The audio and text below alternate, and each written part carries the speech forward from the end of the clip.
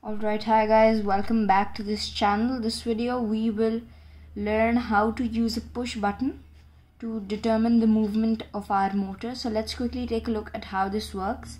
Whenever I uh, push this button, the motor will rotate. So let's quickly take a look. As you can see, when I keep this pressed, there's movement the motor rotates and when I release it it stops. So let's quickly take a look at what all components we will require to create this circuit.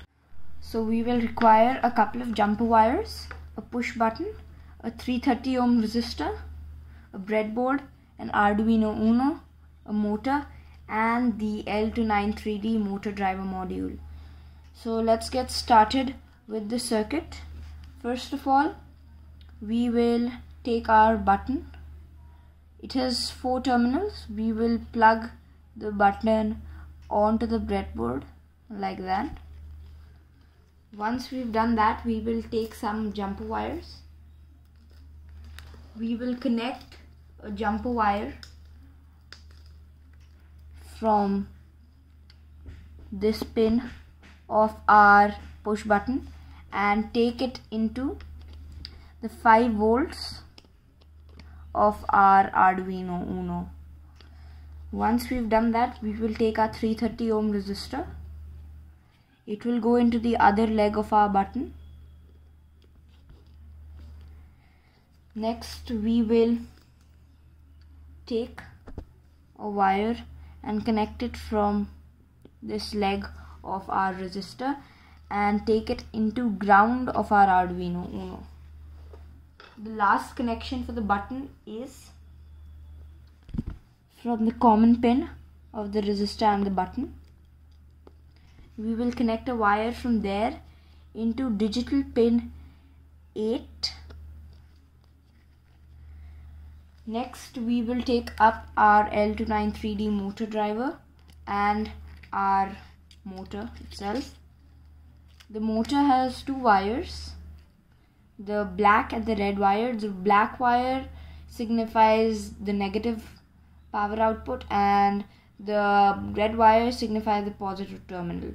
So we will we will take the positive wire and plug it into the L293D mo motor driver module.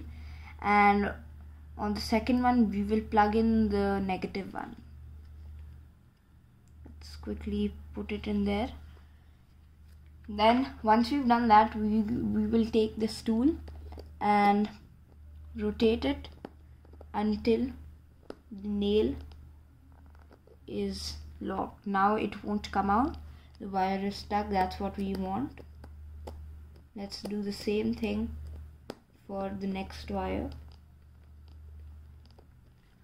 Alright once we've done that we will take a couple of jumper wires.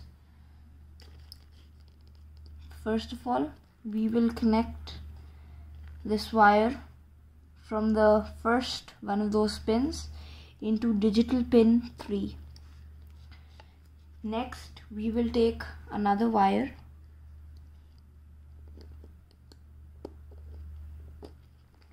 And plug it into digital pin 4 then? The L293D motor driver module has two uh, 5 volt pins. So we will connect any one of them. This will go into 5 volts but we've already plugged in something over there. We've plugged in the button over there. So what we will do for now is take the button and plug it into 3 volts and put the 5 volts for the L293D motor driver module. Then we will connect one of the GND pins into the GND of our Arduino Uno.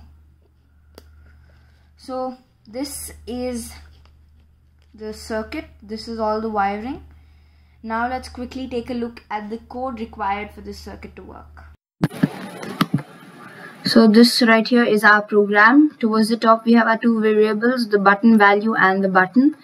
In our void setup, we have specified the button as an input device.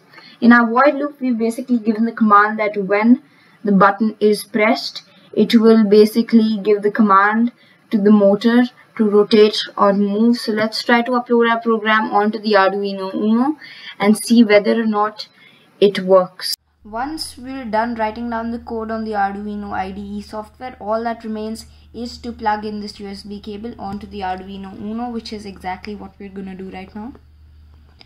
So let's plug it in. Once we do that, this red light will appear on the L293D module, which signifies that the power is being transferred to it and it is on. Once that's happened, we will know our program has been uploaded. Now what I will do is press this button and see whether or not our program responds.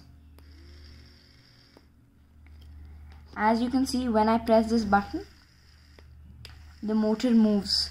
So this shows that we have completed our program. So that's it for this video. Hope you guys enjoyed the content. We look forward to seeing you in our upcoming tutorials in case you're wondering where the code is the code is always going to be in the comment section of the video